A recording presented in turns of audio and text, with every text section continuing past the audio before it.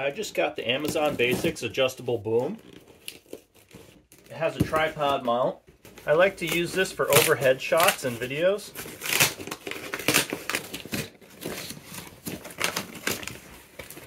Here it is, the Amazon Basics boom. Take it out of its box here. There's the instructions booklet. That's how it looks set up. Let's get it out of the box. As you can see, here's the tripod base on the bottom. The boom extends. I'm going to tighten that up at the bottom, make that stay in place. And then I can set up the tripod base by pulling all these out. Okay, there's the base set up. Also has a clip here. You can use this for your microphone wire and there's a clip here as well. You can move this up and down, all the way to here and all the way back to here. Or attach your microphone here. Or if you're filming, you can attach your adapter here. You can tighten this piece up to make it stay in place. And then you can loosen this knob up to move this forward and backwards. And the clip will also make this stay in place, but you can move that if you need to move it all the way forward which I do when I'm taking overhead shots with the camera. So I'll just move this back and tighten it into place. Then it can just loosen this up here and bring this way up to here.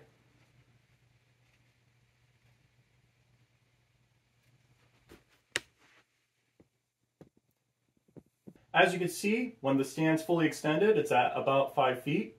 then if you extend this boom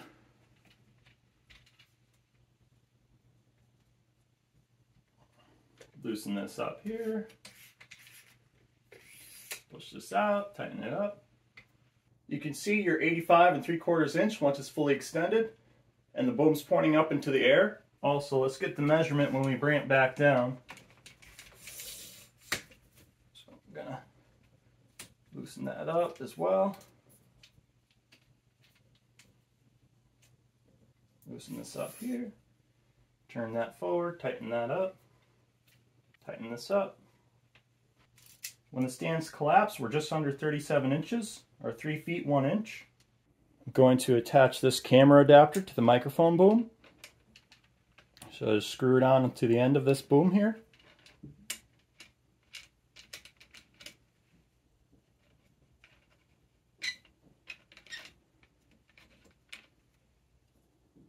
Okay, so now that's attached to our boom.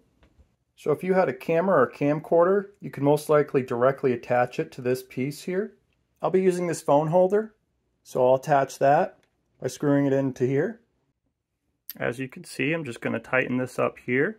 Now you can take an overhead shot using your boom and the two adapters. Just place your phone in there, tighten up the phone adapter, and now you can use your boom for an overhead shot. Depending how you have it positioned, you might want to put a counterweight on the bottom leg here. The boom was $23.97 off of Amazon.